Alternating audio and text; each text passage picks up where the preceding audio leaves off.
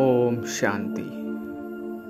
This is the Sakar Murli of 30th of April 2024. Essence Sweet children, check your charts to see for how long you remembered the Father throughout the whole day. Check whether you made any mistakes because each of you is a businessman. Question Which one effort should you continue to make while being introverted so that you experience limitless happiness?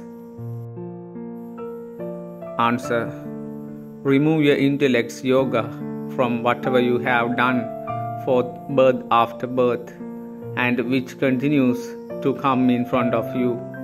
Continue to make effort to remember the Father in order to become Satopradhan. Remove your intellects from all directions, become introverted, and remember the Father. Give evidence of the service you do, and you will have limitless happiness.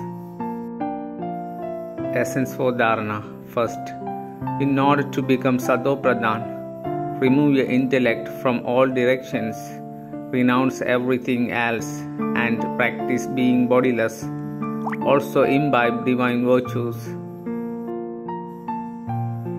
Second, take good thoughts into your intellect.